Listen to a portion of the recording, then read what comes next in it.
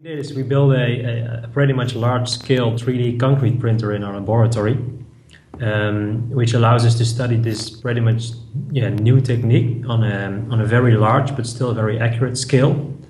Um, because the way we see it, that it, it does offer a lot of potential for the built environment and the building industry, but the technique is still pretty much unknown. There is little research available. And if we want to apply it on a very, uh, very high level of accuracy and efficiency in the built environment, we need quite some fundamental research on that. And um, we applied a very nice uh, control system to this machine from the, from the CNC world.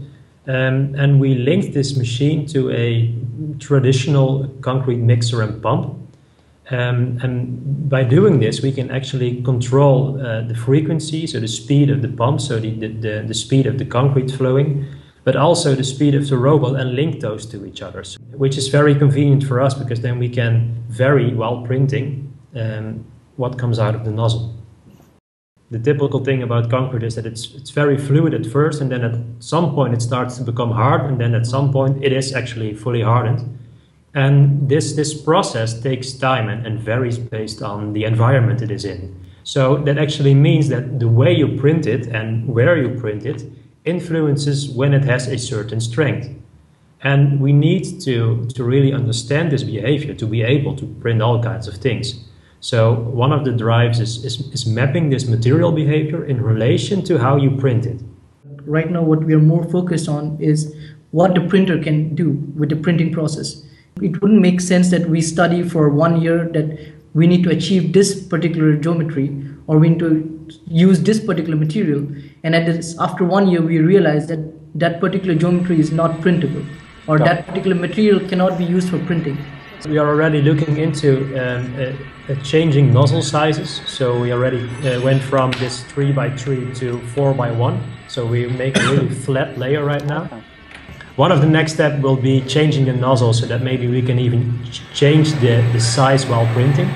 The, the main goal will not be finding one particular design, mm-hmm. really showing the, the, the, design space that printing allows. And then um, the next step is for, for, the, for the built environment, for the market.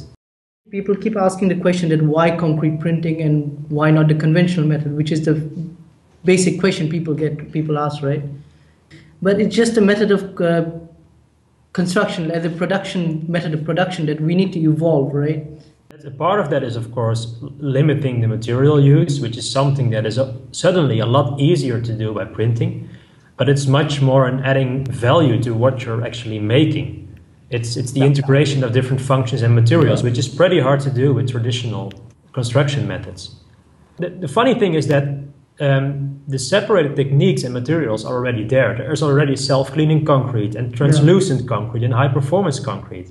But it's so hard to place them at the right position because if you cast them in a formwork, then you have super expensive self-cleaning concrete in the middle of your cross-section which doesn't, which doesn't do anything. Yeah. So this printer, it, it just moves at every position and it can choose at every location which type of concrete it positions there.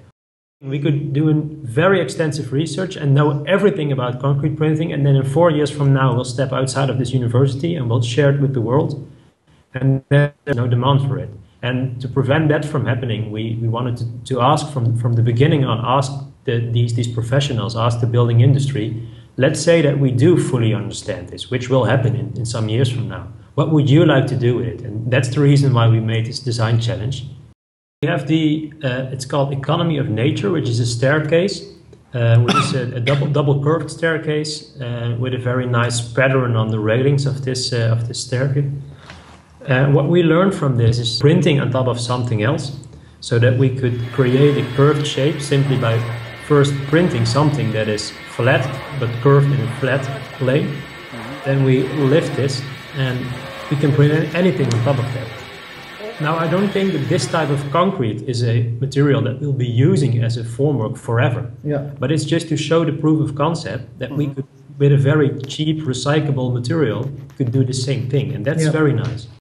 With the firewall, we have certain limitations right now. The brief was to, to us that we need to, to make a translucent wall, but the geometry, the micro geometry, was wasn't really mentioned to us. We could use whatever geometry we want So we're trying to incorporate those ideas like with a con- continuous process, with a continu- continuous, uh, let's say, printing process. How can we make it more translucent?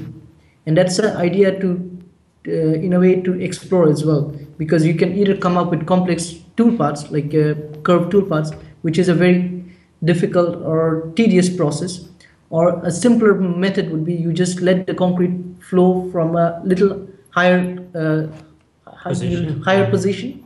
The concrete itself curls up and then gives you the same geometries in a way. The third one is the is the ASO office, which is an example of, of really reducing material in a design um, based on, for example, stress patterns. Uh, the nice thing about uh, these kinds of optimizations and printing is that they're suddenly a lot easier to make compared to traditional means because making formworks for these uh, these types of structures is pre- pretty complex. What we learned from this is that um, very very straightforward things like how much can these layers cantilever, which is which is a very interesting thing if you want to go into more complex 3D geometries. Um, and also, what is very interesting in this this column in particular is that it shows an example of integration of functions in a cross section.